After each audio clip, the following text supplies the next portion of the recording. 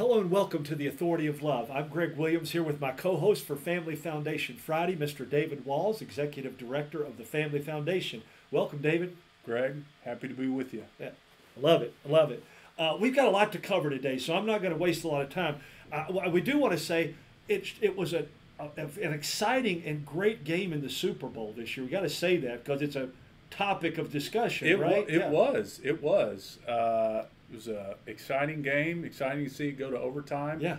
As yeah. a um, Dallas Cowboy fan, I, I, didn't lose any sleep over the 49ers losing. Yeah, uh, yeah. As a Bengals fan, but but I got to say, I really like the way both of those those programs are run. Yeah, they do a good job. You know, nobody's perfect, but do a good job, and the Chiefs seem to be building a dynasty. They do. The, yeah. Yeah. It seems like it. Here's the here's with the good East Texas boy as his quarterback. Yeah, that's right. Uh, that's exactly right. And he came out of nowhere. Man, it, it, it, was awesome what he's done. Lights out. Yeah.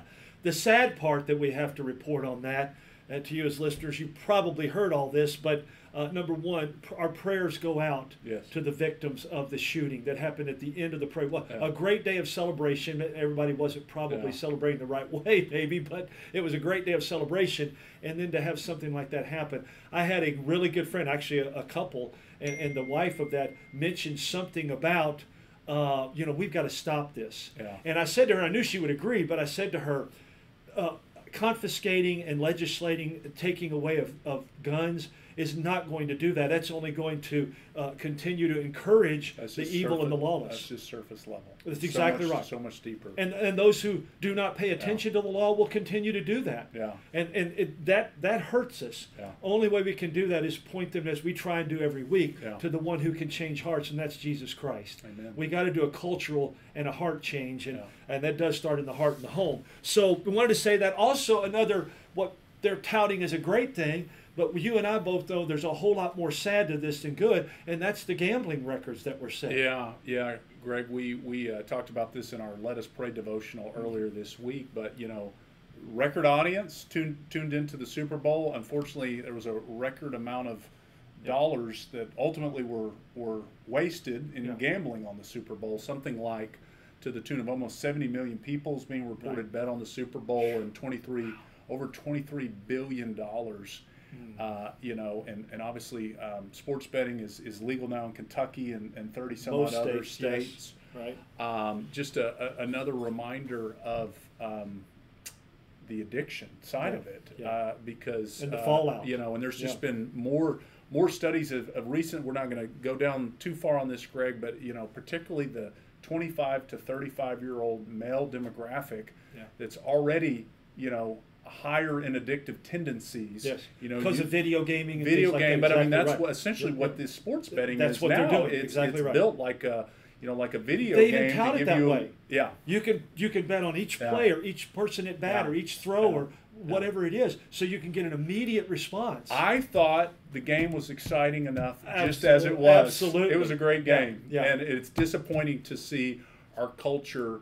take sports and turn it into something that's promoting something that's ultimately And- and we'll- harmful. we'll probably- when sports is a is a great thing. It is. to, There's uh, character yeah, building yeah. and a lot of that. Here's the other thing. Dave will probably come back to this at some point if we can find it. Yeah, We look at the statistics at where that money ended up. yeah, A huge. We know this already. I can't Right. give you numbers, but we know this. A huge majority of that those dollars ended up in the hands of the gambling enterprises. right. and they also promote a lot of other things that destroy our culture. But but they tout it on commercials and stuff like this is the greatest thing since sliced bread. Right. Go out there and have fun. Yeah. And like you said, I enjoyed the game. Yeah. I didn't need to take a chance on losing my money that, that helps take care of my, my wife and my family and those kind of things. So that was tough. I do want to transition here, David, because I, the viewers will see this. I've got my red shirt on. I'll, I wear it two or three times a year, but usually at Christmas, obviously. And then Valentine's Day, which we just had a couple of days ago. And I say that because our culture, as with many other things, David, has promoted this as romance, love, sex, cars, jewelry, flowers, candy. Yeah. Most of that, there's nothing wrong with. Now, sex outside of marriage, that's Yeah. another issue, biblically speaking.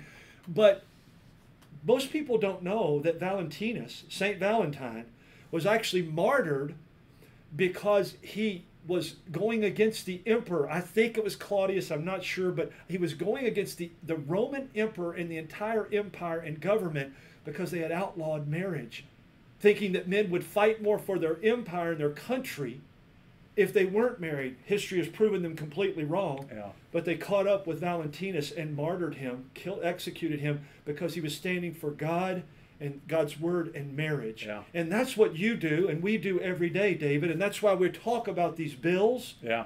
And we're going to ask people to be Valentines with us. Yeah, To join we us, need, right? We need a generation of folks that's willing, regardless of what the government may promote or the culture may promote, uh, in terms of, of deceiving and ultimately lying about what marriage is and what its Mm-hmm. purpose is. Or what life is. Or Yes. any of these, right? Uh, right. We, we've got to continue to stand for stand for truth and um, uh, knowing that uh, you know society is built upon marriages, and when Yeah. marriage and the family falls, so do uh, Yeah. so does everything else. Yeah, and I'll mention this, and then we'll get into the bills. I know you've Yeah. got some you want to you want to highlight, but I, in my devotion this week on the Love and Lordship Facebook uh, page, uh, I talk about some of these things, and one of the things I talk about is Vladimir Lenin. People may know that name. A lot won't today Yeah. because we don't talk about him because he was the architect of the communist regime in the Soviet Union, in Yeah. Russia and the Soviet Union.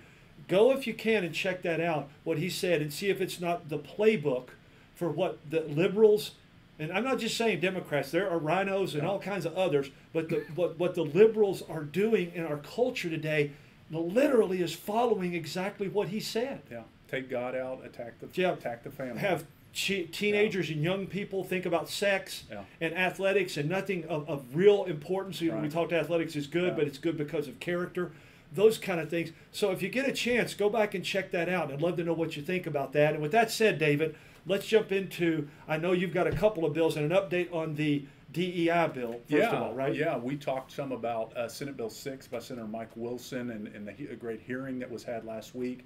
That bill actually this week uh, passed the Senate chamber, the so Lord. received a full vote, passed, uh, and is now uh, moving on over to the House. Of course, as we discussed, there's a really, really great uh, version of a bill to, to stop these harmful DEI policies already in the House uh, that hopefully will um, uh, get moving itself, and that's House Bill 9 by by our uh, great champion for uh, family values, Representative Jennifer Decker. Yeah. And so appreciate her and her work on that issue. Obviously, the work last session that she did, Yes. protecting uh, and leading really the charge to protect uh, children from gender transitions. Uh, but thankful to see that the Senate's already taken action to uh, to try to help put a stop to these to these harmful policies that are showing, as you and I talked, showing division and discrimination Mm-hmm. uh, into our uh, classes and uh, in terms of how they're hiring professors, all that comes with that. The way they're manipulating children. We talked about that Right. with, with Randy Adams a few weeks ago, and those kind of things going on. yeah. Uh, now, the, uh, we're not going to prognosticate, but it does look like it probably will pass the House likely. We'd love to see it strengthened, maybe. Yeah. Come together with those bills, Yeah. come together and be strengthened. Yeah, look, we we need to have as uh, we're, we always are in favor of passing as strong as law as possible. We Yes. recognize, you know, legislative process. You know, when the sausage is getting made, uh, different Yeah, things. yeah, yeah. Uh, but the reality is, these these policies are are are harming our universities. They're harming. Uh, I mean, we're increasingly seeing them pop up in K through 12 as well. And that's been their Uh, design all along. Right. Yes. So there, there's a lot of work still to be done, but encouraged by the progress that is being made and the willingness in both chambers, it seems, to to address these, move in that these direction. policies. Yeah. Excellent. So, uh, you know, Greg, one of the other big ones, and you and I have kind of uh, briefly talked about this a little bit, but I wanted to. Um, glad we have a little bit more opportunity today to talk about it. One of the most important bills this session is uh, House Bill 304, uh, and that bill's been filed by Representative Shane Baker. And that bill really is a follow up to Senate Bill 150 from last session. Uh, last session, specifically the portion of the bill Which was the big bill. We Yeah. talked a lot about that, one, Right. right? So this kind of builds on that. builds on that Yeah, as it relates to the provisions about protecting parental rights in our schools, in, our, in our public schools. And so, as you and I talked in, in, in pretty good detail at different points last year, you know, there are school districts here, Fayette County schools, Jefferson County schools, that literally enacted policies directly in opposition to SB 150 yeah. as it relates to uh, some of the um, discussion on LGBT issues, as it relates to student privacy and safety. Of course, our uh, t- the Attorney General's office had put out uh, a guidance um, saying that you know those were false uh, policies in terms Directives, of they were relying on the KDE uh, policies that was trying to subvert some of the protections in that law. Anyways, um, what this would do would add some further clarity to the law. It would also uh, allow parents to have uh, an opportunity to have the law enforced. So it would give them essentially some uh, opportunities for enforcement. A standing, basically, right? Yeah, yeah. Uh, very important. And then it would also mention you mentioned Randy Adams, Adams and, and, and other situations that developed in Anderson County. You and I talked about that where we had this school counselor that was going behind parents' back. Really, a Christian family had been targeted because of their biblical uh, beliefs. With the support, although secretly, of the superintendent, right? Right. All that right. was going on. You right? know, Yeah. a school counselor should not be meeting for a student, be meeting with a student. In this case, uh, apparently for five straight weeks without parents being notified. Right. Two hundred personal text messages being exchanged between a school counselor. We've got to put pa- parents in the driver's seat. And so, what House Bill 304 would do would simply say that parents have to be notified. If a, if a school counselor Great is need for this bill for that reason, Right. right? Yeah. So we just launched a um, an updated action alert. We're really encouraging folks. If folks go to our website at KentuckyFamily.org, go to our Take Action page, you can reach out and send an encouraging message to your legislators on House Bill 304 and, and many other issues.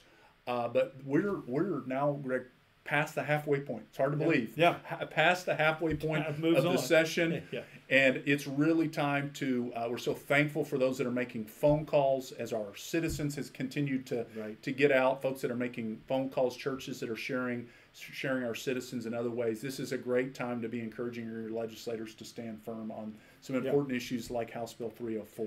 Yeah, so we've got House Bill 304. Yeah. We're talking a call to action and to prayer. Right. Please be praying about these. House Bill 304 is parental rights in education, Yeah. greatly needed, strengthens SB 150.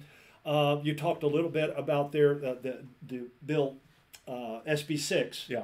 which is the DEI. We Yeah. need that to be continued to push through and strengthen. So call about that, or uh, there's other things you can do too. Yeah, you can yeah. you can uh, email or some other things too as well if you do that. Absolutely, Call yeah. the message line. Uh, get on KentuckyFamily.org, KentuckyFamily.org, or you can get the Citizen. By the way, you were telling me I got to get mine and get it Yeah. to my church, right? Because the, the, the demand is exceeding the supply, It is. right? We're So you having got to do a, a second print run. So thankful for all the volunteers that have been just taking them to churches and distributing, and for the overwhelming requests that we've had to mail citizens to folks to share at their own church. I've been joking. Our, our, our team here uh, has been doing such a great job. We look like we were running an Amazon operation earlier this week with all the packages Right, we were right, putting together. right. But each one of those represents, you know, someone in Kentucky who's willing to share important information and, and, and equip their church to be salt and light. So that's something we, uh, I'm just so thankful for. Uh, and it's one of, you know, it's just one way in which we can engage our government and help encourage our uh, elected leaders to promote God honoring policy. So, and as Valentinus did, to stand against those things that clearly go against God's word and His laws. absolutely. And so we've got to do that, and we're asking you to join us. And you can do that at KentuckyFamily.org. You can call the message line. It's 800 372 7181, and you'll see that on the site and Yeah. in the Citizen. Thank you for joining us. Thanks always for your prayers and to the Lord. Make it a great day, and God bless in the love and Lordship of Jesus Christ. I'm Greg Williams, and you're listening to the Authority of Love.